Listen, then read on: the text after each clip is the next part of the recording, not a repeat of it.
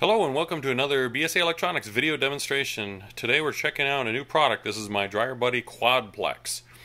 This Dryer Buddy is an evolution of the Dryer Buddies we've seen in the past that have one cord and two outlets.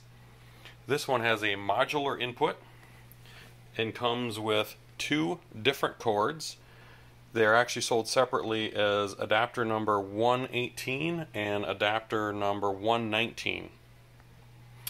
Uh, the first cord that comes with it is a NEMA 1030, and the second one is the NEMA 1430. So this covers the two common dryer outlets found in homes.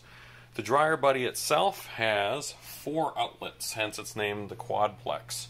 It covers and serves the needs that the dryer buddy number one would cover, which is got two 1030s, a dryer buddy 2 that would have two 1430s, a dryer buddy 11 that would have a 1030 input cable, and then a 1030 and 1430 would be used, as well as a dryer buddy 21, which is a 1430 cable with a 1430 outlet for your dryer and a 1030 um, for your charging station.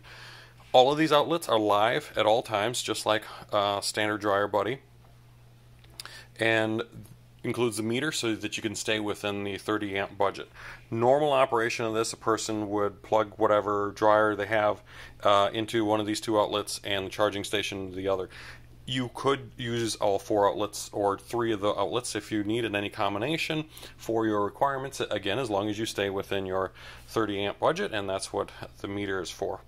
Um, either cord can be used so that when you move from location to location, you always have the cord you need to plug in the wall without having to send in your dryer buddy for a reconfiguration. Thanks for checking this out, and this product is going to be on our website.